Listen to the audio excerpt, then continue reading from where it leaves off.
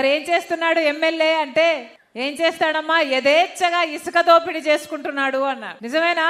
మళ్ళీ మళ్ళీ ఇలాంటి వాళ్ళకు ఓట్లేస్తే మళ్ళీ ఇలాంటి వాళ్ళే గెలిస్తే ఈసారి తెనాలిని అమ్మేస్తారు. ఏమన్నా? ఎంతంట? ఓటుకి ఎంత ఇస్తారంట? ఇంత ఎంత ఇచ్చినా తీసుకోండి. మీ డబ్బులే. మీ ఇసుక దోపిడీ చేసి సంపాదించిన డబ్బులే. కానీ ఓటు వేసేటప్పుడు మాత్రం ఎవరికి వేస్తున్నాము అని ఒక్కసారి ఆలోచన చేయండి అన్న. ఓటు అనేది మీ చేతుల్లో ఉన్న ఆయుధం. ఓటు అనేది మీ జీవితాలను మార్చే ఆయుధం.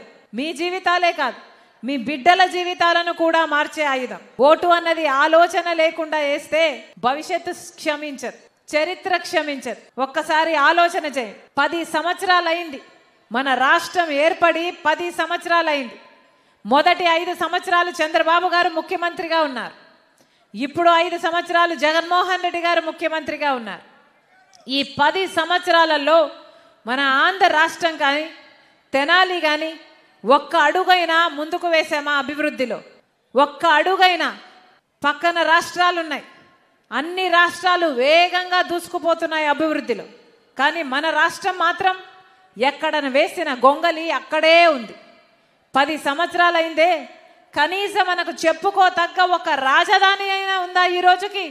పక్కన బెంగళూరు ఉంది హైదరాబాద్ ఉంది చెన్నై ఉంది. అందరికీ అన్నీ ఉన్నాయి. మనకేముంది? మనకేముందన్నా? చిప్ప ఉంది. మనకేం మిగిలింది? గుండు సున్నా మిగిలింది. పది సంవత్సరాలు. చంద్రబాబు గారేమో అమరావతిని సింగపూర్ చేస్తానన్నాడు. త్రీ సినిమా చూపించాడు. జగన్మోహన్ రెడ్డి గారేమో ఒకటి సరిపోదు మూడు రాజధానీలు అన్నాడు. మూడు రాజధానీలని ఒక్క దాంట్లో అయినా తట్టెడు మట్టి పోసారా? ఒక్క రాజధాని అయినా అయిందా? మరి ఎందుకైనా వీళ్ళకి ఓట్లేయాలి? మళ్ళీ మళ్ళీ వీళ్ళకి ఎందుకు అధికారం ఇవ్వాలి? అధికారం ఇస్తే వీళ్ళు ఏం చేస్తున్నారు? బీజేపీ పార్టీకి గులాంగిరి చేస్తున్నారు. పోనీ బీజేపీ పార్టీ మనకేమైనా చేసిందా? పది సంవత్సరాలంటే పది సంవత్సరాలైంది. ప్రత్యేక హోదా పది సంవత్సరాల క్రితం మోడీ గారు పది సంవత్సరాలు ఇస్తామన్నారు. ఇప్పటికి పది సంవత్సరాలైంది. వెన్నుపోటు పొడుస్తూనే ఉన్నారు. కానీ ఇప్పటి వరకు ప్రత్యేక హోదా ఇవ్వలేదు మోడీ గారు. మరి ఇలాంటి మోడీకి చంద్రబాబు అయినా జగన్మోహన్ రెడ్డి గారైనా ఎందుకు గులాంగిరి చేయాలి? ఏం చేశారు మోడీ గారు? మనకు పోలవరం ప్రాజెక్ట్ ఇచ్చారా? మనకు రాజధాని కట్టారా? కడప స్టీల్ ఫ్యాక్టరీ కట్టారా? ఆఖరికి విశాఖ స్టీల్ను కూడా అమ్మేసే ప్రయత్నం చేస్తున్నారు మోడీ గారు. అలాంటి మోడీకి ఒక పక్క చంద్రబాబు గారు ఇంకో పక్క జగన్మోహన్ రెడ్డి గారు. ఇద్దరు కొంగు పట్టుకొని డ్యాన్సులు డ్యూయట్లు ఆడుతున్నారే. ఇద్దరికి మోడీ గారు కావాలి. ఎందుకంటే మోడీ దగ్గర అధికారం ఉంది కాబట్టి. స్వప్రయోజనాల కోసం ప్రజా ప్రయోజనాలు ఇద్దరూ తాకట్టు పెట్టారు. దొందుతోందే. మోడీ గారేమో మన రాష్ట్రానికి ఒక్క మేలు కూడా చేయలేదు. అయినా కూడా ఐదు సంవత్సరాలుగా మన రాష్ట్రంలో యాక్చువల్లీ పది సంవత్సరాలుగా మన రాష్ట్రంలో ఒక ట్రయాంగిల్ లవ్ స్టోరీ నడుస్తుంది. వాస్తవం కదా? చంద్రబాబుకి మోడీయే కావాలట జగన్మోహన్ రెడ్డి గారికి మోడీయే కావాలట. మోడీ పోపు పోని మనకు ఏమైనా చేశాడా అంటే ఒక్క మేలు కూడా చేయలేదు. మరి అలాంటి మోడీకి ఇలాంటి గులాంగిరి ఎందుకు చేస్తున్నారు? ఈరోజు మోడీ గారు చెప్తున్నారు కాంగ్రెస్ పార్టీ ఇండియా కూటమి అధికారంలోకి వస్తేనట మంగళసూత్రాలన్నీ లాగేసుకొని ముస్లింలకు ఇస్తారట. ఒక ప్రధానమంత్రి స్థాయిలో ఉన్న వ్యక్తి మాట్లాడాల్సిన మాటలేనా ఇవి? ద్వేషం విషం ప్రజల మనసుల్లో నింపటం లేదా?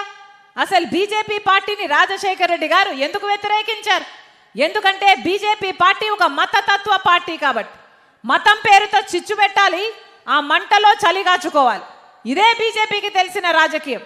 ఒక మతాన్ని అవమానించాలి ఇంకో మతాన్ని రెచ్చగొట్టాలి. ఇదే బీజేపీకి తెలిసిన రాజకీయం. మంగళసూత్రాల గురించి మోడీ గారు మాట్లాడుతున్నారే? మరి గోత్రాలో మోడీ గారు ముఖ్యమంత్రిగా ఉన్నప్పుడు ఎన్ని మంగళసూత్రాలు తెగిపోయాయి? ఇప్పుడు మోడీ గారు ప్రధానమంత్రిగా ఉన్నారు. మణిపూర్లో ఎన్ని మంగళసూత్రాలు తెగిపోయాయి? వాటి గురించి మాట్లాడరు. అభివృద్ధి గురించి మాట్లాడరు. వాళ్ళు చేసిన పనులివి అని చెప్పుకోవడానికి ఒక్క మేలు కూడా లేదు కదా. రెండు కోట్ల ఉద్యోగాలు ఇస్తామన్నాడు మోడీ గారు. పది సంవత్సరాల ఇరవై కోట్ల ఉద్యోగాలు ఇచ్చుండాలి. మన రాష్ట్రానికి ఎన్ని ఉద్యోగాలు వచ్చాయన్నా? కోటైనా వచ్చాయా? లక్షైనా వచ్చాయా? ఎన్ని రాలేదు. రైతులకి ఆదాయం డబుల్ చేస్తానన్నాడు. అయిందా? ఈరోజు అప్పు లేని రైతు లేడు మన రాష్ట్రంలో. పదహైదు లక్షల రూపాయలు ప్రతి అకౌంట్లో పేదవాడి అకౌంట్లో వేస్తానన్న మోడీ గారు. ఒక్క లక్షైనా వేసారా?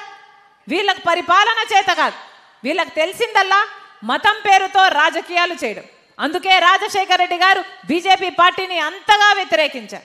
ఒక పక్కేమో రాహుల్ గాంధీ గారు ఉన్నారు ఐక్యత కోసం సోదర భావం కోసం ప్రేమను పెంచడానికి ఒక రిషిలాగా ఏడు వేల కిలోమీటర్ల పాదయాత్ర చేసిన వ్యక్తి రాహుల్ గాంధీ గారు ఒకవైపు ఉంటే ఇంకోవైపు మోడీ గారు ప్రధానమంత్రి హోదాలో ఉండి కూడా ద్వేషం విద్వేషం విషం మతంలో చిచ్చు పెట్టే ప్రయత్నం చేస్తున్నాడు మోడీ గారు. ఎవరి కావాలి? ఎవరి కావాలి మీకు ప్రధానమంత్రిగా? ఎవరికి ఓటేయాలి? ఒక్కసారి ఆలోచన చేయండి. ఇక్కడ రాష్ట్రంలో ఒకవైపు పాలకపక్షం ఒకవైపు ప్రతిపక్షం. ఇద్దరు చంద్రబాబు గారైనా జగన్మోహన్ రెడ్డి గారైనా. దొందు దొందే. ఎవ్వరికీ ప్రజా ప్రయోజనాలు పట్టలేదు. ఎవ్వరికీ ప్రత్యేక హోదా తేవాలి అన్న సోయలేదు మోడీ గారు మనకు ప్రత్యేక హోదా ఇవ్వకపోయినా పర్వాలేదు.